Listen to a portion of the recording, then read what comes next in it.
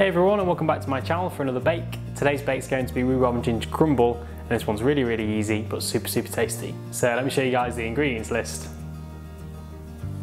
200 grams of soft unsalted butter, 300 grams of plain flour, 125 grams of golden caster sugar, around 70 grams of stem ginger and syrup, 30 grams of flaked almonds, and finally around 800 grams of trimmed Forced Young rhubarb which has been peeled back as well. Okay, rhubarb ginger crumble was a really good one then. You just get that nice little hit of ginger now and again and that super sharp rhubarb sometimes. So first thing we need to do is we need to whack the oven on to about 160 degrees. Okay, so first thing we're going to do is we're going to work on the crumble mix and my crumble mix basically is just making shortbread and then adding a bit more flour to it so it's a little bit more looser. So we've actually got a Kenwood chef here what we're going to be using but we definitely use by hand. We're just going to mix these all together until we make shortbread.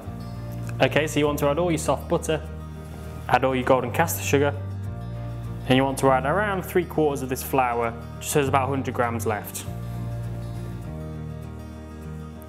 Okay, these have all been mixed together and it's like a formed dough. So now you want to add the rest of your flour, just until it starts to make a bit looser again.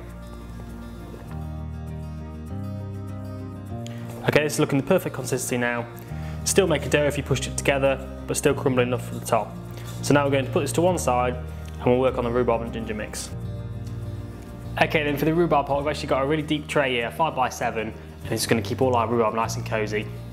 Okay, so a great trick with this rhubarb then, we're going to chop this nice and thick so it doesn't go all soggy in the uh, oven and it keeps its shape as well. So we're going to chop this quite significant portions really, about 2 inches, just so it keeps its shape a little bit and we do this to all of them.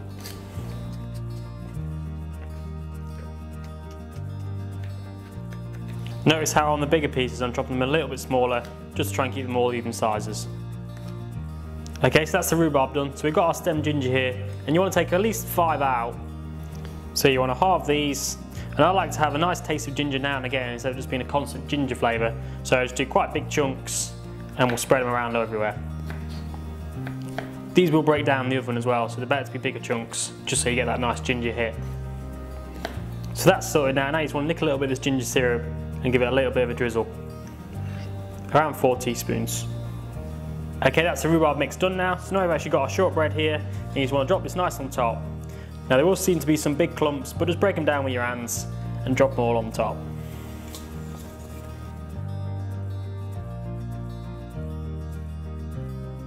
Okay, so you just want to make sure it's all nice in the corners, get rid of any big clumps. Then we're just going to sprinkle the flaked almonds on top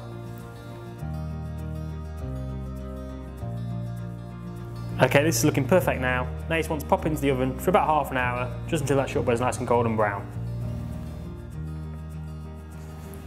Okay, it's been in for about 40 minutes now, and I've just turned the temperature up to 200 degrees, just for another five minutes, just to get a bit more colour on the top. This is looking great, this is. Really, really tasty. Look like it's like blipping around on the outsides as well, and those flaked almonds give a really nice colour to the top. So I'm really, really happy with this one then guys. I like the crunch crumble texture on the top and that rhubarb should kept solid on the bottom as well. I really like the idea as well of the shortbread top as well. Instead of just being a normal crumbly texture, you get that nice crunch shortbread taste.